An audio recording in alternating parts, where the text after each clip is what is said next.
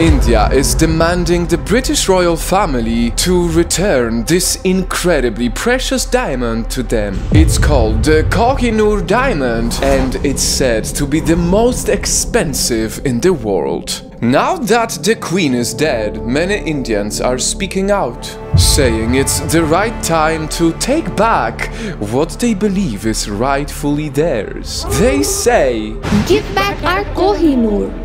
And that is why in this video you will learn is it right from India to demand this from the British royal family? Let us research for answers. We have to trace it back to India hundreds of years ago when this treasure was discovered. The Kohinoor diamond weighed over 190 carats in its uncut form and it was so valuable that the Indian emperor at the time even said this diamond is worth half the daily expenses of the whole world. And so he used the diamond to decorate his famous throne. Later on, Persian emperor invaded India. He captured the throne and took the Kohinoor diamond with him to Afghanistan. But he was soon murdered by one of his guards and the diamond was passed on to a new king. But this king he was also overthrown, and he had to flee with the diamond to the Emperor of India,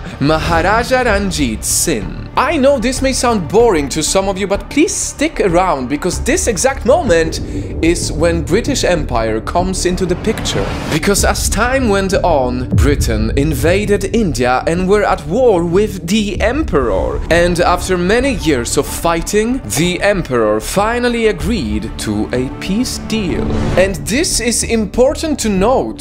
The Kohinoor diamond was part of that peace deal because a clause in the treaty said the gem called the Kohinoor should be surrendered by the Maharaja of Lahore to the Queen of England. But here's the catch. Maharaja Duleep Singh at that time was just a 10 year old boy. So, how likely was it that he wasn't even fully aware of what he agreed to? Now that we've learned some history, we are at a point where the Kohinoor diamond is still part of the British crown jewels, while India is left hoping for it to come back to them. Over several decades, India would demand the return of the stone, but they all got the same firm answer no. Just listen to what former UK Prime Minister had to say. The Kohinoor diamond, are you ever going to return that? I'm afraid to say, uh, to disappoint all the viewers, I'm afraid it's going to have to stay put. And perhaps that is one of the strongest arguments Indians can hold on to. Even the United Kingdom is aware of their own guilt. Heck, even Queen Victoria reportedly wrote in a letter that she disliked wearing the Kohinoor because she opposed how the British took over India. And of course, to all of you watching on the other side, it is a common knowledge that the Brits took many very expensive artifacts from many countries.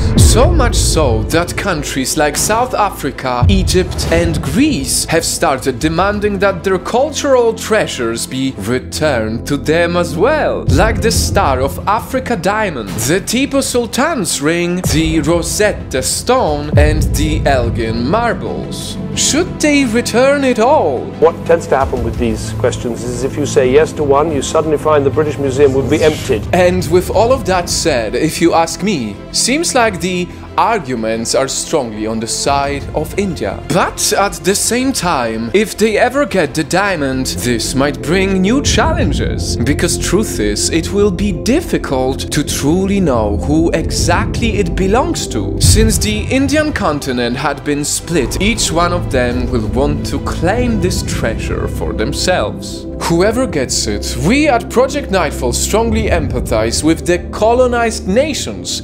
Many of them never received an apology. But the final answer remains with you, Night Fam. Is it right for India to demand the Kohinoor diamond back from the British royal family, or should the United Kingdom stand its ground?